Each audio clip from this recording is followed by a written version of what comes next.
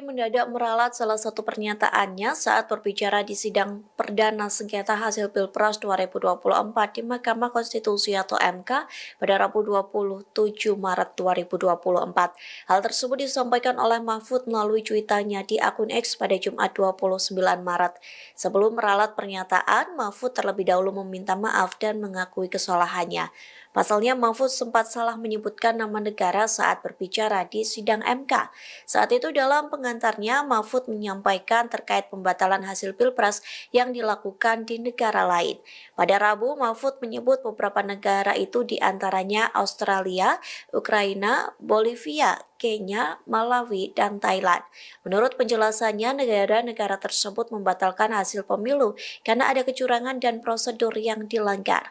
Lantas dalam cuitannya, Mahfud mengakui bahwa dirinya salah menyebut nama negara. Rupanya negara yang dimaksud pernah membatalkan hasil pemilu adalah bukan Australia, melainkan Austria.